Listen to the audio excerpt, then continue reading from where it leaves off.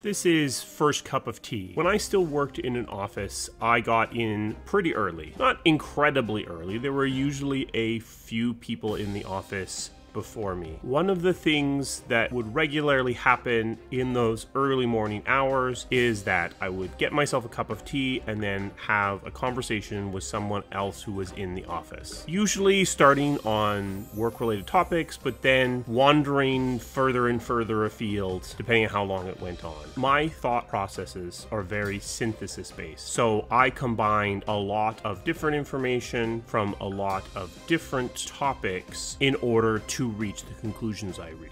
The result of this is that, as people who know me personally know, I have a very broad but relatively shallow knowledge base. But it also means that sometimes I need to have a really wandering, meandering conversation in order to get all of my thoughts and all that information out so that it can take the form of a conclusion on something I'm working on. This video series will be emulating that experience to some degree. The videos will typically not be as as free flowing as those conversations. As I've mentioned before, I am a story shaper, not a storyteller. So, because there's no conversation occurring right here, there won't be as much fuel to cause it to go ever further off the rails. But this will be topics where I don't necessarily have a fully formed point, and we will just talk and go where the conversation leads us. Today, we're going to talk about about the resting rating of IPs. What's a resting IP rating? A resting IP rating is the rating that your IP would naturally settle at, barring any sort of external forces. I'm going to use the ESRB ratings. Maybe I'll put them up on the screen right now because these are the ones I'm most familiar with. I'm also going to pull out the E10 plus rating because that's pretty much only used for kids titles, whereas the E for everyone everyone rating is used for broader titles. So that leaves us with E for everyone, T for teen, M for mature, and AO for adults only. You could map this to the PEGI ratings from Europe or to the movie rating systems, whatever you're comfortable with. So basically, what I'm asserting is that because of their themes and the basic premises inherent in an IP, there's a natural place that they're going to want to be. So, for example, Star Wars has a resting rating of around a T for teen. You can relatively easily push a game one position out of its resting rating, but going further than that is difficult. So T for teen is actually a pretty good place to be because you can easily imagine an E for everyone Star Wars game like Pod Racer or an M for mature rated Star Wars game. But if you start trying to imagine a Star Wars game or a Star Wars movie that pushes beyond that M for for mature into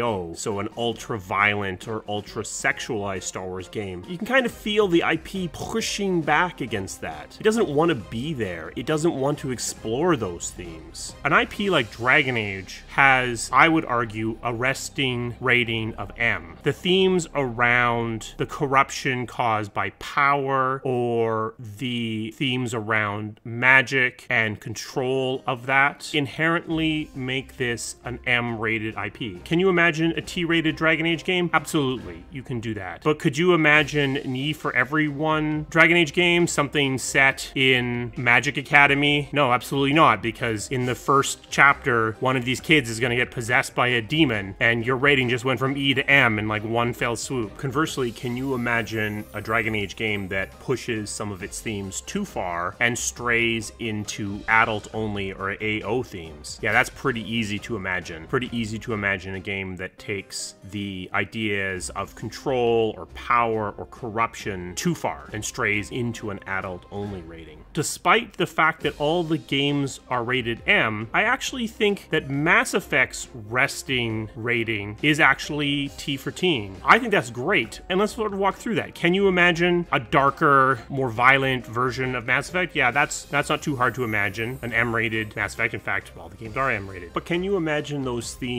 Pushing even further all the way into adult only or AO. Actually, no. Unlike Dragon Age and like Star Wars, you start to feel the IP pushing back, resisting going into those darker, more adult themes. Can you imagine a game set in the Mass Effect universe rated E for everyone? Something set in a Biotics Academy or something that's about trading that skirts around some of the themes of Mass Effect. That's actually pretty easy for me to imagine. I don't really have to imagine it. Mass Effect Corsair would have done exactly that, had the exploration and commerce and space parts of Mass Effect, but skirted around some of the deeper themes about the role of technology. If you are creating a new IP, think about this. Think about your resting rating because once your franchise has started, it can be difficult for you to change this rating. And if you're looking to make something as broad as possible, then you may want to aim for something that hits themes around T for teen as opposed to hitting themes around M for mature. Hey, what did I tell you? We got to a conclusion after all. That's it for today. Thank you for joining me. If you like this video, hit that thumbs up button.